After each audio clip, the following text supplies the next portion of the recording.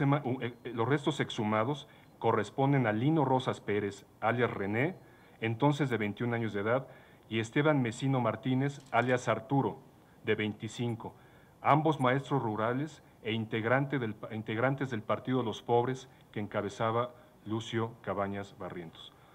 A continuación. Probables responsables de la dependencia pública o personas de esta desaparición, obviamente, el director general ministerial.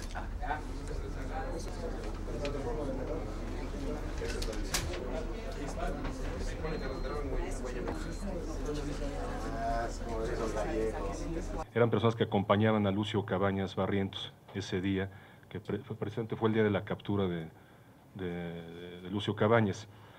Eh, los probables responsables, tenemos algunos indicios, eh, pero ustedes recordarán que en aquella época participaban autoridades tanto civiles como estatales, federales, este, eh, estatales y militares. Entonces estamos precisamente por determinar ahorita, este, en estos momentos, la, posible participación de, algunos integrantes de estas corporaciones.